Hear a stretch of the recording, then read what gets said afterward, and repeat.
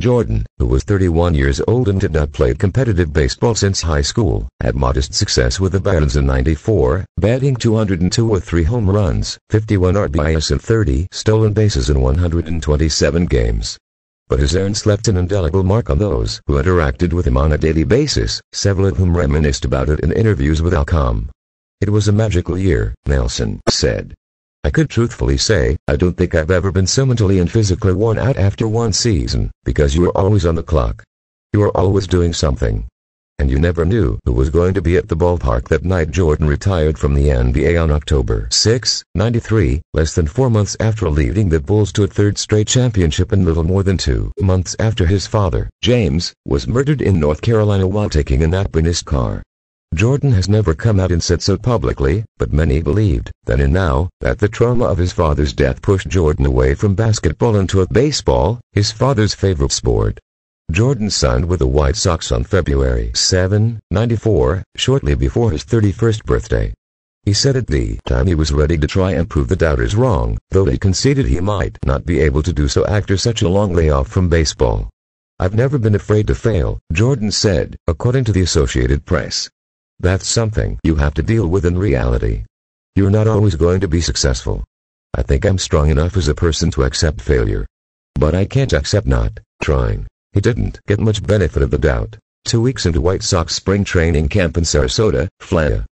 Sports Illustrated published a cover showing Jordan swinging and missing with a headline bag at Michael. Jordan and the White Sox are embarrassing baseball and the accompanying story. SI veteran Steve Wulf wrote, this much is clear. Michael Jordan has no more business patrolling right field in Comiskey Park than baseball legend Minnie Minoso has bringing the ball up cut for the Chicago Bulls elsewhere in the story, caustically titled Air Jordan. A number of baseball stars past and present expressed doubt Jordan could ever become a major leaguer, at least not on merit. Jordan never forgot the slight. To this day he refuses to speak to anyone from Sports Illustrated on the record. Jordan had no intention of throwing in the towel, however. By the end of March, the biggest question was where the White Sox's minor league Cheney would be assigned. Wayne Martin covered the Birmingham minor league teams, first the A's and then the Barons, for more than 20 years beginning in 71. He said the Barons would viewed as the top contender to get Jordan, thanks largely to the facilities at the Hoover Met, which had opened in 1988. Another thing that Barons had going for them was a well-respected manager who played in the major leagues, and was thus used to dealing with star players and their egos. Terry Tito Francona, then 34 and just four years removed from his playing career, had guided Birmingham to the Southern League Championship in 93, his first year as the team's manager. On March 31st, the official word came down that Jordan was headed to Birmingham. The news spread quickly around White Sox camp. I remember that morning so well, Francona told veteran baseball writer Rob Neyer in 2017. We would have minor league meetings every morning at 7.30, just to sort of go over the day, talk about the players. That morning I was tired, barely listening. Then somebody said Michael would be with the Birmingham work group, which meant he was coming to Birmingham. Well, I still didn't think much about it. By the time I got outside, the media already had the news. I realized my world had been turned upside down, and it was the best learning experience I could ever have been placed in.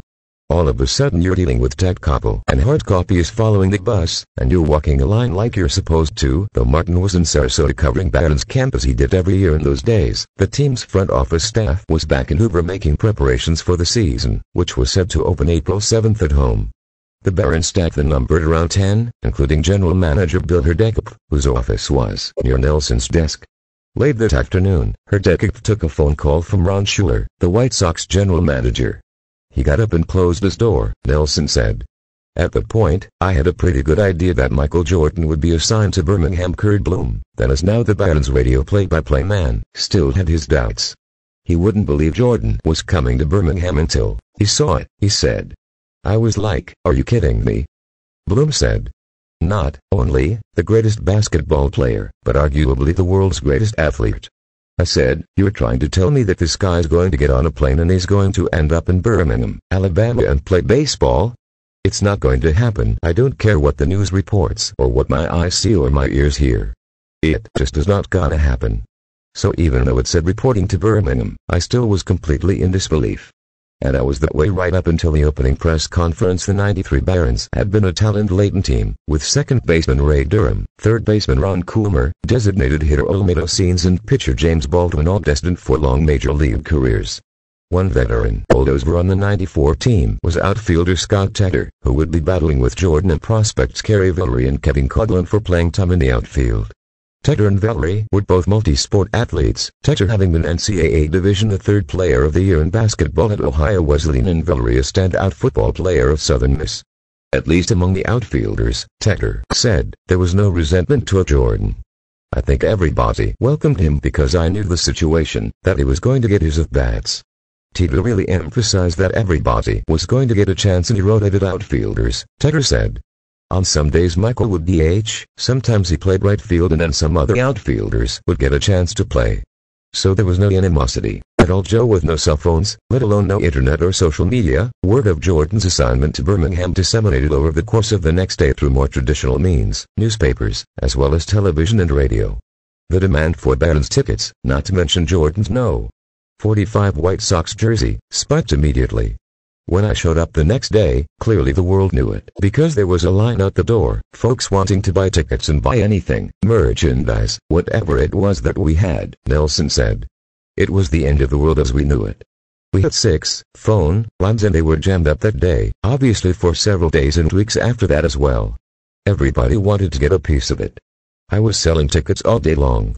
They brought me lunch at the ticket window. I didn't even get to take a break. It was part of the excitement and part of the flurry of what was beginning to be just an avalanche. But it was also a lot of fun too. It was a roller coaster ride that entire season and it wasn't just a Birmingham thing.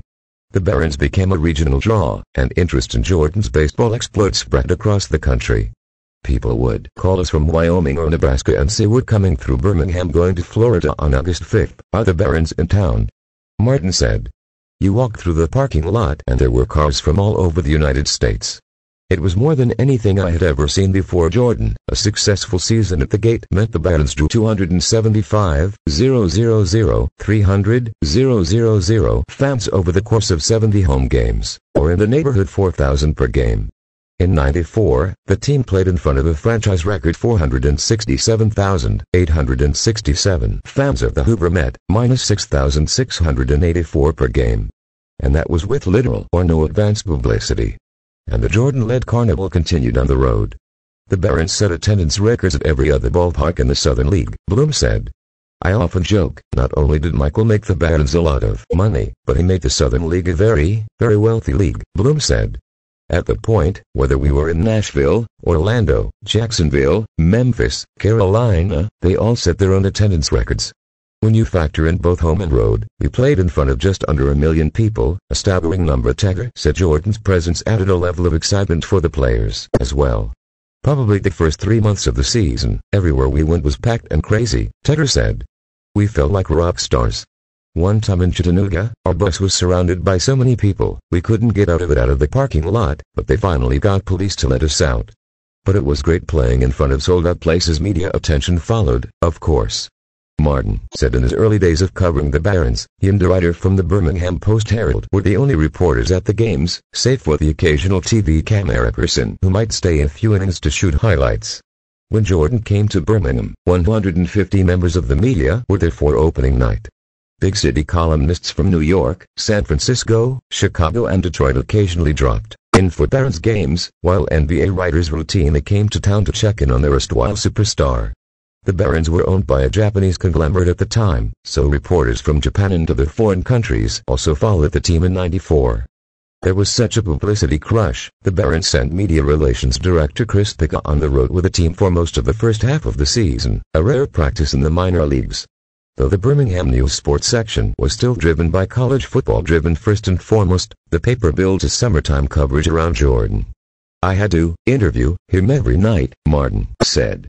The news said that I would have a game story every night and I had to have a Jordan story every night. And sometimes there was nothing there, but I had to have something. They said it can just be two paragraphs, but you've got to have something on Jordan. And I'd go up to him after the game and he'd say don't come talk to me, Scott or whoever is the one that got the game winning hit, go talk to him. I said I'm going to talk to him, but I've got to talk to you. Two celebrities descended on the Hoover met looking for a chance to rub elbows with Jordan. Charles Barkley, raised in nearby Leeds, was a frequent visitor. Country singer Kenny Rogers made the trip to Hoover from his home in Georgia for one game, showing up unannounced with a huge entourage. He wanted to shake hands with Jordan, Martin said. They had very strict rules about anybody on the field, but Hardekopf gave the okay for Kenny Rogers to go out on the field and say hello to Jordan. Rogers carried his whole entourage out there with him. It must have been 15 people wandering around out in front of the dugout. I'm sure Hardekopf was having a stroke even more memorable was the day a man showed up at the Hoover Met claiming to be Scottie Pippen, Jordan's superstar teammate with the Bulls. He tried to get in the clubhouse, got all the way down to the clubhouse doors, but didn't get to go in there, Bloom said. You just never knew what was going to happen on a given day. Jordan in the minor league lifestyle. No story of Jordan's season with the Barons would be complete without mention of the Jordan Cruiser, the luxury bus the team traveled on in 94.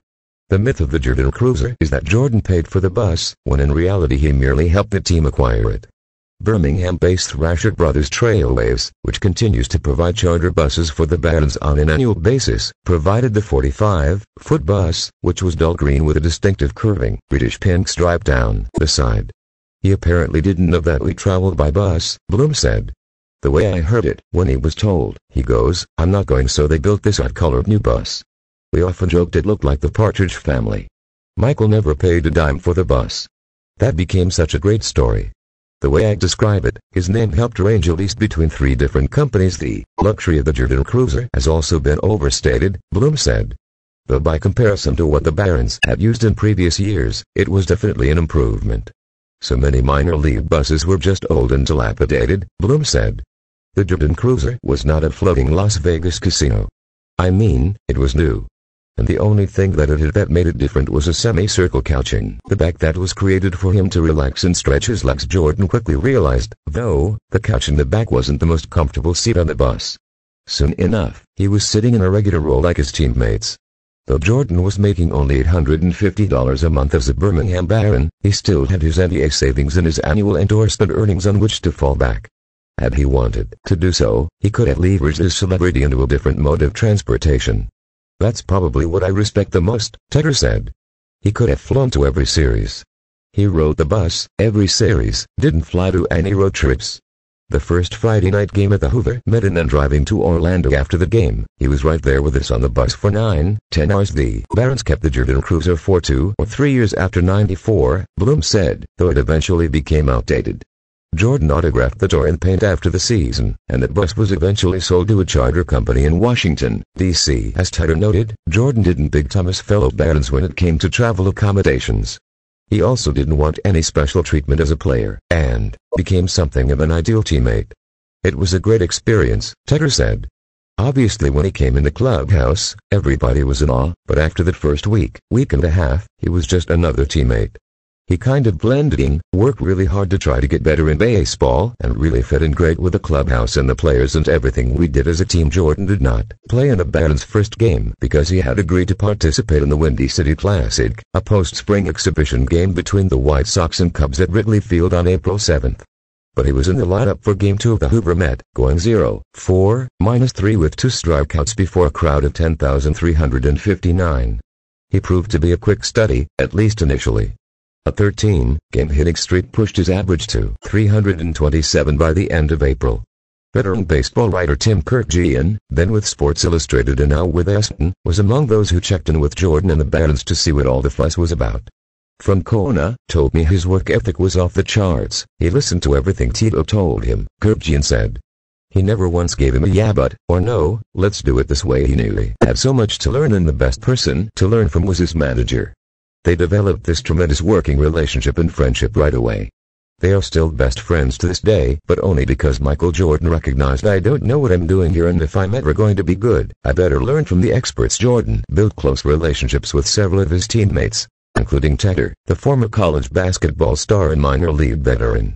That friendship continued after Tedder was released late in the season and caught on with the Chicago Cubs, whose double affiliate was in Orlando, also in the Southern League. They came to Orlando that day after I got released and my bats didn't make it to Orlando, Tedder said. So I went over to Michael and said, Hey Mike, I need some bats I came back from batting practice and there were three Michael Jordan bats in my locker. That's just the kind of guy he was. Of course, I didn't use those bats. I kept those bats those who spent time around Jordan in 94 have often raved about how approachable he was. If you had to cover a celebrity, he was the one to cover, Martin said. And Jordan wasn't afraid to fully engage in the minor league lifestyle, including clubhouse card and board games. Jordan was particularly fond of yachts. Minor league teams don't have full-time, fully staffed grounds crews like their major league counterparts, which Jordan also learned one afternoon at the Hoover Met. One day, he's coming in on Sunday afternoon and we're pulling the tarp off the field, Nelson said. Somebody says to him, hey listen, why don't you help us? And he goes, uh okay so he grabbed the tarp and he helped us pull the top off the field. He was one of the guys and he wanted to be one of the guys. Anytime you went down to the clubhouse, you always saw him having fun, yucking it up with teammates or the coaches or with Francona. He was always very gracious. I personally will always be very appreciative that that's how nice he was, not only to the fans that came out that year, but to our staff as well Big Macs, pickup basketball and nightlife Jordan may have left the NBA, but he remained among the country's top advertising pitchmen while playing for the Barons. He continued to endorse Nike, Gatorade and McDonald's, among other tentpole companies. The first time I met him, I walked into the locker room at lunch, during spring training, and he was sitting in there eating a McDonald's Big Mac, Martin said. I said, good lord, I wouldn't expect you to be eating a Big Mac he said, hey, they pay me a lot of money. People that pay me money, I patronize them would go out to the Met sometimes and the TV crews would be taking down all the tarps that they had covering up the advertisements to shoot commercials. Jordan was constantly doing commercials when he was with the Barons. Somebody told me that he made $31 million the year he was in Birmingham and naturally, the world's greatest basketball player didn't abandon his primary sport entirely. The Barons players and staff held regular evening pickup games at Rye Village, an apartment community not far from the Hoover Met. It wasn't long before Jordan caught wind of the game and got in on the action. He pulls up in his Mercedes and he strolls to the court, Bloom remembered. And I wound up on his team. The ball starts with him and I set a pick and then he looked down and he waves me up and he says, CB, I don't need this he steps back and nails like a 30-foot jump on this asphalt court. When we first started, there might have been six people, eight people, but then word got out in the development and all of a sudden people were coming out of their apartments.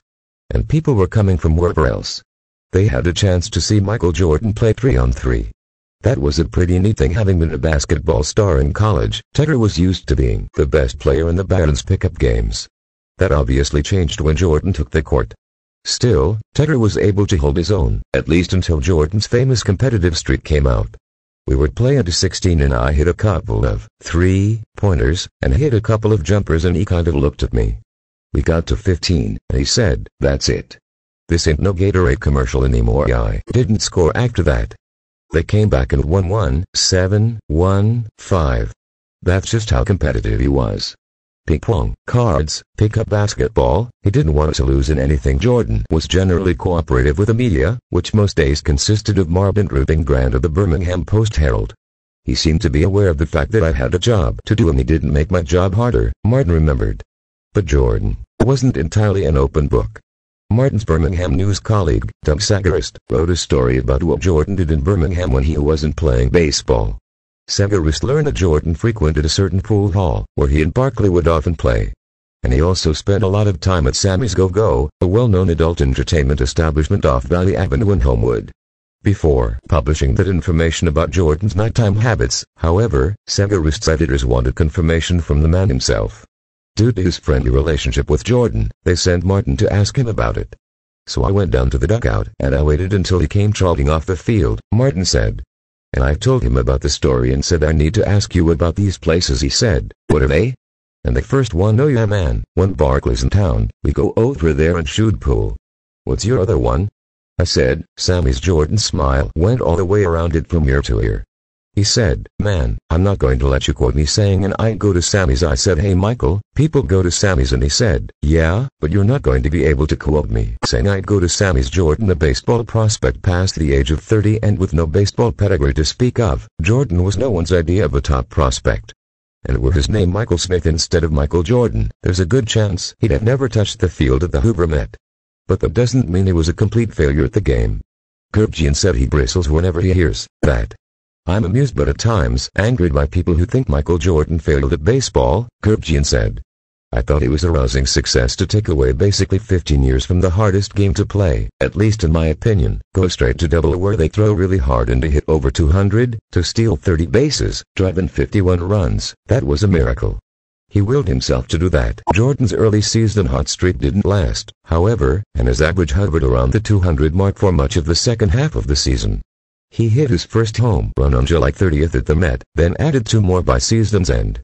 His final numbers included a 202 batting average, a 289 on-base percentage, 17 doubles, a triple, 3 homers, 51 RBIs and 30 steals in 48 attempts. Most importantly, perhaps, he was giving his best effort. I saw a guy that did not take this as a joke, Bloom said. His work ethic was legendary. And he did not want to embarrass himself, which he didn't. And you look back at his numbers and not always talk about how positive they were and I still can't believe he hit three home runs. He drove in 50 and stole 30 bases. Those are numbers that we'll have players this upcoming year and last year that they will put those numbers together. That shows you how extraordinary he was. Rumors have always circulated as to what was Jordan's ultimate motivation in playing baseball. One wild conspiracy theory was that Jordan had secretly been suspended from the NBA for illegal gambling and played baseball to fill time until he was allowed back into basketball. NBA Commissioner David Stern, who died earlier this year, always dismissed this. The Chicago Sun-Times reported in late June that Jordan would be headed back to the NBA in 95. He denied it. So of all the things Jordan could have done in 94, why did he play baseball? Tedder said he thinks it was all about Jordan's relationship with his father. I think his summer with the minor leagues really rejuvenated him to go back to basketball because I think he lost that intensity and love for the game of basketball, Tedder said. He had three championship rings. He felt like he'd done everything, but his dad's dream was for him to play in the major leagues. I think he wanted to prove to him he could make it to the major leagues. He did everything he possibly could, early work, post-game, work. He would hit after games with the lights on, Nobody in the park and he'd still be taking batting practice. After the games Jordan was listed at 6 foot, minus 6 and 205 pounds as a baseball player, exceptionally tall and long-limbed for an outfielder in the mid-1990s. Most players of similar stature in those days were pitchers. Jordan was certainly no pitcher. But could he have made the major leagues as an outfielder? Bloom thinks so. He was not going to be as dominant as he was on the basketball court, but he certainly had the talent, Bloom said. Who knows, if he had played at an earlier age, as well as played a little bit longer, how far he could have gotten in baseball. But he certainly had the talent to play baseball. There's no doubt the minor league season ends around Labor Day, and promising prospects are typically called up to the major league team for the final month of the season. The question as to if Jordan would have played for the White Sox in 94 became moot when the Major League Baseball Players Association went on strike August 12, eventually wiping out the final six weeks of the regular season, as well as the playoffs and World Series. So if not, in 94, when might have Jordan made it to the majors? Bloom and Nelson both think he'd have spent the majority of 95 of triple in Nashville and maybe made it to Chicago late that season, likely seeing action primarily as a pinch runner and defensive sub. Martin, however, figured Jordan's major league debut would have come much sooner. I think he would have been in the major leagues before the year 94 was over, Martin said. The other thing that he had bet would make him a sure major leaguer was the ability to draw crowds in Chicago. If he could go up there and hit 190, why wouldn't you have him in the major leagues? The aftermath Jordan refuted speculation that he would be headed back to basketball after the 94 baseball ended. He participated in the Arizona Fall League that November and was back in spring training with the White Sox as minor leaguers the following February. With the strike still unsettled, MLB owners put together a plan to use replacement players in 95, with various failed prospects filling major league rosters during spring training. Jordan seemed like a natural to play for the SCAD White Sox, at least as far as club president Eddie Einhorn was concerned. Einhorn got to pressuring him to be a stride breaker, Martin said. Jordan said he wouldn't do it. He said, I might not be a baseball major leaguer, but I'm a basketball major leaguer. They knew they could sell out Comiskey Park, with Jordan coming up there to play baseball. So when he said he wouldn't play, Einhorn started making it difficult on him at spring training, like moving him out of the major league locker room and putting him with the minor leaguers. And so he quit on March 11th. The story broke that Jordan was walking away from baseball. A week later came the now legendary fax transmission to media members from Jordan's agent, David Falk, reading only two words, I am back the general manager up at Nashville, boy he was planning big, Martin said. He thought he'd be coming to triple of that year. And they told him that he could not sell tickets using Jordan's name. So he had his commercials for selling tickets, had them shot in the locker room. The GM was sitting in front of a locker with no 45 jersey in it, polishing a pair of shoes that had no 45 on them, telling viewers how much you're going to enjoy the season this year in Nashville. Jordan played his first game back with the Bulls on March 19 in Indianapolis, wearing his baseball no 45 rather than his familiar 23. He scored 19 points in 43 minutes against the Indiana Pacers, then nine days later scored 55 in a win over the New York Knicks. The MLB strike ended by court order on April 2, when a federal judge ruled that the owners planned to use replacement players violated labor law. The 95 season was delayed by three weeks, but baseball has avoided any other work stoppages in the 25 years since. The Birmingham Barons returned to the field minus Jordan on April 6, 95, beating Memphis 2-0. And though, as Martin says, everybody had their Jordan stories that they wanted to tell, 95 was just another season at the Hoover Met in the Southern League. It was sort of like seeing the remaining members of the Beatles play without John Lennon, Nelson said. It was just not the same. You went from being the ultimate buzz and the ultimate baseball story to back to being a normal minor league baseball.